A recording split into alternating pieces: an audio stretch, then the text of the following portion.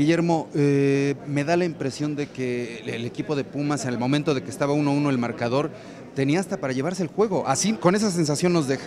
Sí, yo también la- lo sentí por un momento. Tuvimos eh, algunas jugadas de peligro que no supimos decidir eh, de, la, mejor forma, pero el equipo intentó, creó situaciones que eso es importante frente a un equipo y un gran rival. Y por ese lado, de verdad que, tenemos que seguir intentándolo. Da, más de lo esperado tu equipo y me voy a explicar. Tenían todos los pronósticos en contra, eh, venían eh, sin miembros importantes de la escuadra y aún así hubo momentos en que tuvo al América en un puño. Así es, así fue. Te digo que los jugadores eh, demostraron que tienen, que tienen condiciones, que tienen un, gran carácter, una buena formación y lo demostraron.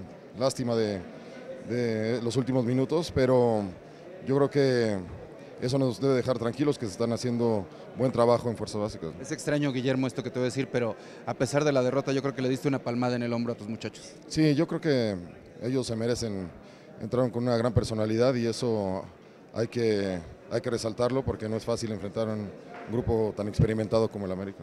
Guillermo, muchísimas gracias. Lo hice hace un tiempo y hoy vuelvo a reconocer tu, tu labor como director técnico. Felicidades. No, muchas gracias, un saludo. Hasta luego. Gracias. Nos vemos.